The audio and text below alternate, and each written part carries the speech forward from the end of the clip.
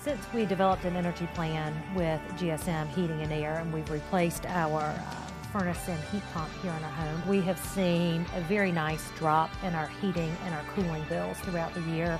But I think most importantly, we've noticed the comfort level in our home has uh, you know, grown tremendously.